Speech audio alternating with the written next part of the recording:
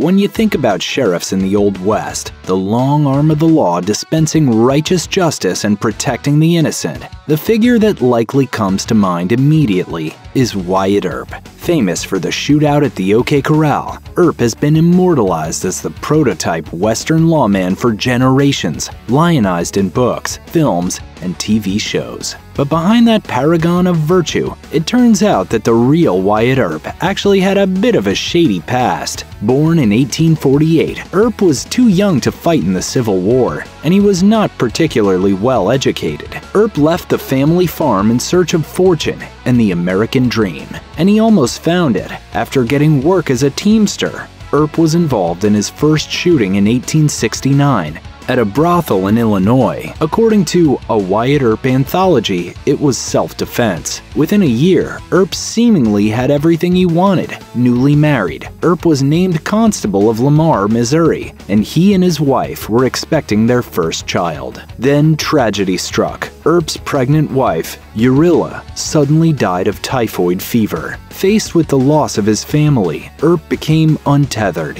In 1871, he was accused of mishandling county funds and was fired. He turned to horse theft and was jailed, but he escaped and became an enforcer at a brothel. It became a lifestyle and a dangerous one. In 1874, he was arrested again, this time for fighting in Wichita, Kansas. It wouldn't be the last time. Though he was soon hired as a policeman and earned praise for his integrity, Earp also continued to run afoul of the law himself. He was arrested again, this time in Dodge City, Kansas, for slapping a woman. Then, in 1878, he was arrested in Fort Worth, Texas, again for fighting. Each time he returned to law enforcement. Most famously, he was tried and acquitted for murder after the gunfight at the OK Corral in 1881.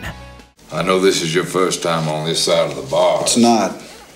Come again? It's not my first time. He then went through a series of odd jobs, from lawman to miner to boxing judge, the last of which proved disastrous.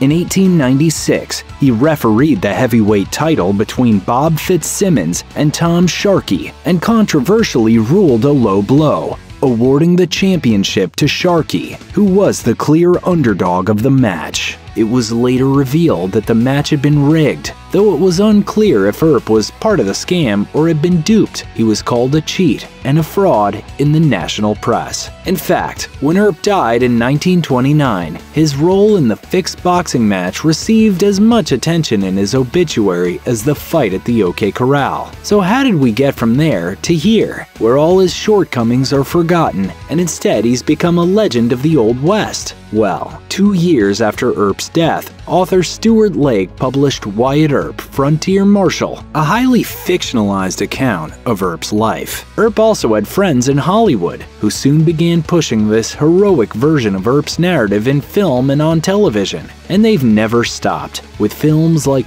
Tombstone, and Wyatt Earp cementing his place in the public consciousness. Whether or not this idealized vision of Earp actually matches up to that of the man is almost beside the point. Despite a tragic life and run-ins both as the law and with the law, Wyatt Earp's reputation as a man devoted to justice is more or less set in stone, even if it is a tombstone. Check out one of our newest videos right here. Plus, even more grunge videos about your favorite stuff are coming soon.